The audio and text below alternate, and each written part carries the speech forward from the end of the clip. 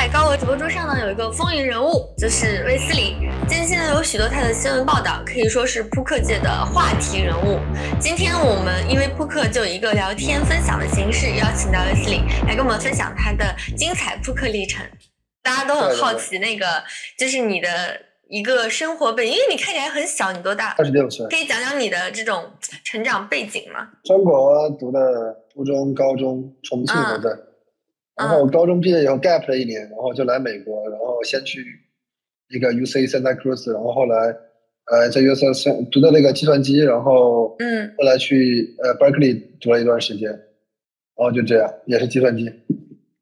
然后你是毕业之后直接就开始去做这个金融方面的这种行业没有，我很我很早就进币圈了，我可能是圈内最早的几个吧。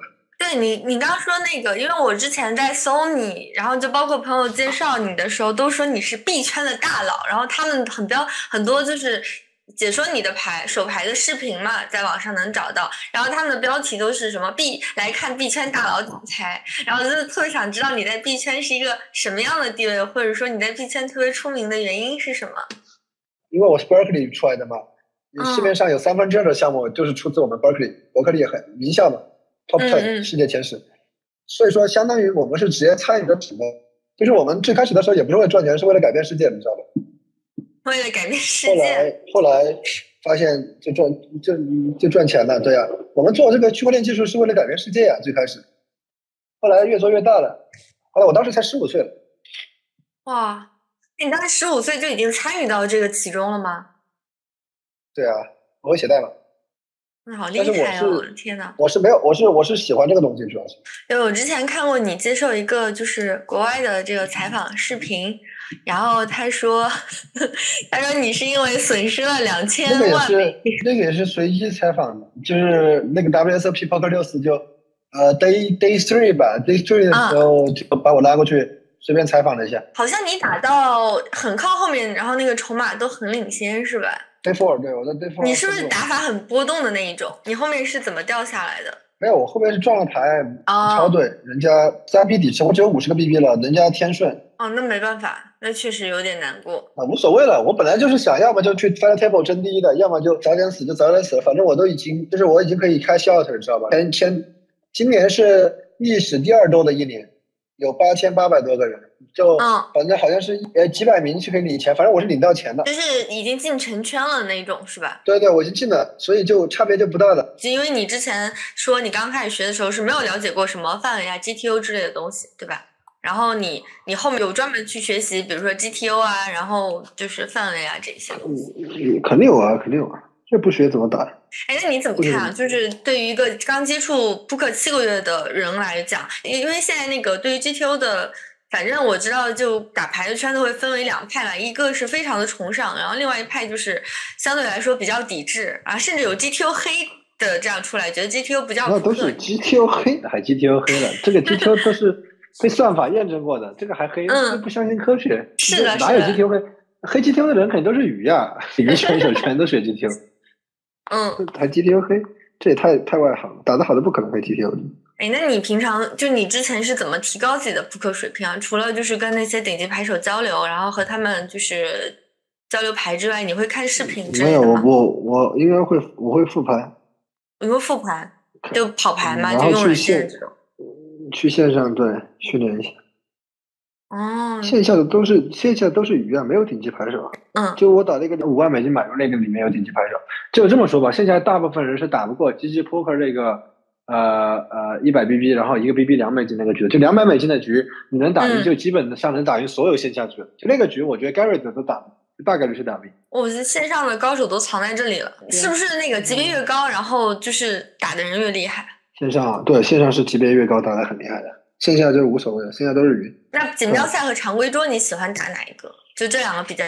呃，开线嘛？为为什么？对，为什么？因为深马，好玩啊！锦标赛全啊，就是他能一直保持深马。锦标赛到后面都是凭运气在打牌的呀。嗯，就那么几个几个 BB，十几二十个 BB，反正就是推，那能赢就赢，不赢算了。对，这什么意思啊？两倍超值，破例五万美金，我打十万，你敢不敢？这种才好玩，这种才这种才好玩。那你觉得你的风格比较偏向于哪一种？我我现在日本，我现在日本什么的也很有名，他们都叫我年轻的，很像亚。那你什么？哦，年轻的汤姆多旺是？对对对，打牌比较像吧。他他之前的那个很很帅气疯狂的打法，其实影响了一代就是初期的国内的这个德州扑克玩家的，其实。对啊。然后很多人说他的他的打法害了我，害了就是。对啊，所以他的打法又不是正确的。那为什么他们会觉得你比较像这种？那你其实是盈利的呀。对啊，因为我打的局好啊，我都是在跟鱼打呀。因为因为这样的话，我在节目上是比较松浪的，然后在私局里大家会被我的形象所影响，所以会经常经常支付支付给我很多钱。哦，你是在节目上有意的去经营自己的形象是吧？然后没有没有有意吧？因为我比我比较平衡，他们打不赢我。我有我有牌没牌，他们也不知道。嗯，那你那也就是说，其实你也也会有被抓到的时候，就是大家只比较喜欢来抓你。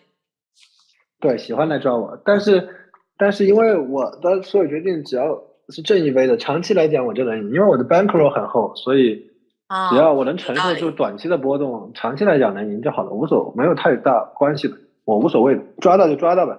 你长期来讲十次里面你能抓到个一两次，你反正这种牌。我十次里面八次赢就好了，无所谓的。你八次呃 bluff 到不 bluff 掉几次，然后几次实牌，反正总总的来讲，我是总体来讲是整体是因为是正的就好了，我不在意短期的输赢。那你你到目前来说有没有就是在？就打牌的过程当中啊，包括高额常规桌上遇到过有什么印象比较深刻的事情或手牌，跟我们分享一个。我最喜欢的一手牌，我让哈斯勒做个剪辑，就是那一手牌。好啊。那个 Pola 是十呃十五万美金多，就快一百万人民币吧。嗯嗯。我是 AK，然后那个叫 Dylan 的，那个白人也是个 AK，然后那个 Tiger 老虎也是 AK。先是我 Open，然后那个 Dylan 三 Bet，老虎四 Bet，我五 Bet。那个 Dylan 那个，你拿个 AK 六 bet，我我 call 进去，六 bet 五万八千美金还是多少？四万八千美金，我 call 进去，我们三个人都是 AK 啊。然后那个 Tiger AK four 了，他有个草花 K，然后我们俩都没有草花 A，都没有草花 K，嗯，发了三个草花，我已经有十万美金了，我短打了五万五。那个低人看到这个坡，我他看了半天，然后问我，我说他破掉了，能不能给我看一下他的牌？我先说可以，然后说不可以，然后他破了，然后我又给他看，然后他上。我操，发了一个什么？三个草花有一个勾，直接直接 dunk。你在他前面是吧？然后你就直接 dunk 出来了，一枪把他打掉了。我直接 dunk 出来了，六 B 六 B 底池啊。我的天！这种操作我估计这个世界上也没几个人能操作的出来。关键是这个坡很大了，已经已经打到翻钱就打到十万美金了，很大了已经。你们后手当时有多少？后手啊，每个人还有十几二十万吧。嗯。闭着眼睛打打五万五。之前我听朋友说你在美国现在打牌，经常会跟那些名人同桌，是吗？有没有就是啊？对，都是很认识，都是很有名的。皇马的队长，那个皇马队长就是那个卡瓦哈。啊，他也打扑克是吗？对，我们在一桌打呀。然后还有内马尔，内马尔总是是吧？嗯。队长。天哪！也有这么多这种，反正就是这些顶，这都是顶级名流。然后 Douglas Costa 以前拜仁的，以前那个黑发里面都有他那个腰星，就是数据特别高。那那个那个卡瓦，皇马队长世界第一右边卫，他是世界第一右前。还有内马尔，这个就不用说了吧，内马尔球神。然后那他们打的好吗？隔几天我要跟那个，他们打的不怎么好。隔几天我要跟这个，我要跟隔几天我要跟这个几个 NBA 的打，有那个看谁啊？加内特、皮尔斯。嗯，那你觉得他们水平怎么样？打的肯定没有我好呀，这个还好。其实虽然你学牌的时间只有七个月，打牌时间只有七个月，但是你一直接触的都是那种顶级高手，就是非常厉害的人，所以导致你高手。我没有，我没有接触过很多顶级高手，就教我打牌的那两个人算顶级高手，其他人不算顶级高手啊。你知道线下扑克的人。再强也就那样，是真正牛逼的人在线上，就他们读案呀，菲尔艾维这种属于流量明星，包括菲尔艾维，你随便问任何一个顶级 pro，你问他们读完菲尔艾维到底怎么样，他们都都会说不好。这个我不我不是开玩笑的，嗯，是因为他们只配打那种老板局，他们没办法去跟真正的线上高手对抗。对于普通选手，可能算厉害的，但是跟真正的线上顶级高手比还有很大的差距，而且这个都是公认的。这个我也没有说要诋毁他们怎么样，因为人家的目的也不是打赢那些顶级选手啊，人家的目的就是打赢。普通的呃老板就行了呀。德州这个游戏你要这么理解，你打再好没有好的局给你打，就像我我打的也没有很好，但是反正也不是 pro 嘛，他们都会邀请我，只要我打得赢，反正这些线下的这些老板局我足够碾压他们，就就能赢很多钱。我打牌七个就赢了两百万美金。哎，那你你呢？你在牌桌上有失控过吗？就是没有没有没有，我不会，我不太会失控。这这种小局无所谓，情绪管理还蛮好的。哎呀，我的亏两千万美金三天都能亏的人，这种。没有什么。那我想问问，当时你发现自己亏掉两千万美金的时候，是一个什么样的想法？就当时心态是怎么样？有失控吗？当时？